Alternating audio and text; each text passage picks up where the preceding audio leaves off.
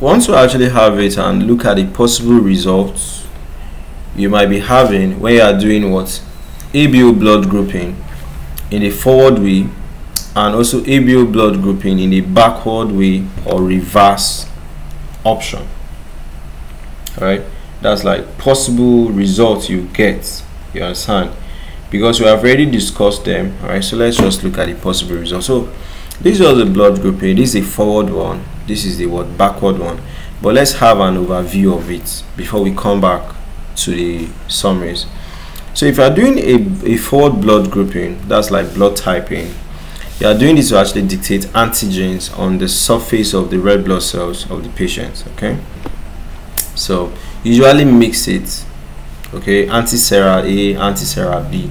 So if you agglutinate with a is blood group a.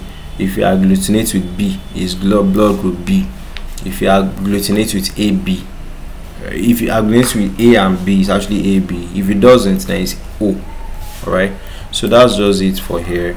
So this is just what we have here on the forward okay? If if it doesn't is if it is negative with O is blood group O. If it is positive with A is blood group A.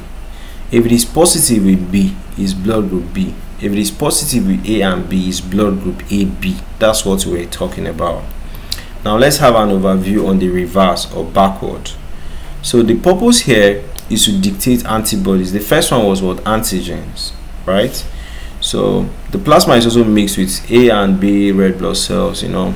So if you agglutinate with A all right is in the presence of anti-A is blood group B if you agglutinate, with B in the presence of anti-B is blood group A. Is this a backward? It's like the opposite of what you got in forward.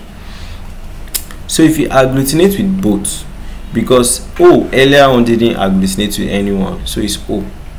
If there's no agglutination AB earlier on agglutinated with all of them so it's AB do you understand? So this is just a summary of what we have.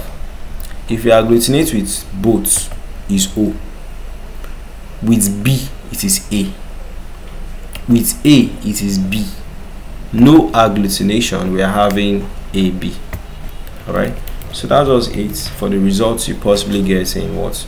ABO uh, blood grouping forward and also reverse and backward blood grouping